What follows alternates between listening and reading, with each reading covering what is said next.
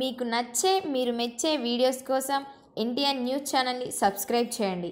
అలాగే బెల్ ఐకాన్ని నొక్కడం మాత్రం మర్చిపోకండి. అమెరికా అధ్యక్షుడు డొనాల్డ్ ట్రంప్ కుటుంబ సమేతంగా తొలిసారి భారత పర్యటనకు విచ్చేశారు. దీంతో వారికి ఘన స్వాగతం పలికేందుకు అధికారులు చేస్తున్న హడావిడి అంతా ఇంత కాదు. ఇక ట్రంప్ రెండు రోజుల పర్యటనపై దేశమంతా ఆసక్తిని కనబరుస్తోంది. ఈ క్రమంలో ఓ కళాకారుడు అగ్రరాజ్య అధ్యక్షుడికి వినూత్న స్వాగతం పలికాడు. ప్రస్తుతం దీనికి సంబంధించిన ఫోటోలు సోషల్ మీడియాలో వైరల్గా మారాయి. తమిళనాడులోని చెన్నైకి చెందిన ఇనావైన్ అనే వ్యక్తి ట్రంప్ పర్యటనతో పాటు రెండు దేశాల మధ్య సాన్నిహిత్యాన్ని తన కళాకృతితో చాటి చెప్పాడు.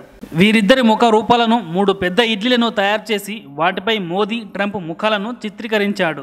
ఈ కళాకృతులు అందరి దృష్టిని ఆకర్షిస్తున్నాయి. వీటిని ఇన్వైన్ ఆరుగురు వ్యక్తులు సహాయంతో సుమారు ముప్పై ఆరు గంటల పాటు శ్రమించి సిద్ధం చేశాడు. ఈ మూడు ఇడ్లీల బరువు నూట ఏడు కిలోలు. అయితే అహ్మదాబాద్లోని సర్దార్ వల్లభాయ్ అంతర్జాతీయ విమానాశ్రయంలో అడుగుపెట్టిన ట్రంప్ కుటుంబానికి భారత ప్రధాని నరేంద్ర మోదీ ఆత్మీయ స్వాగతం పలికారు. అనంతరం వీరు అక్కడి నుంచి నేరుగా సబర్మతి ఆశ్రమం ఆశ్రమానికి చేరుకొని జాతిపిత మహాత్మా గాంధీకి నివాళులు అర్పించారు. ఈ క్రమంలో ట్రంప్ దంపతులు ఇద్దరు నేలపై కూర్చొని తెరాకపై నూలు వడకడం విశేషం.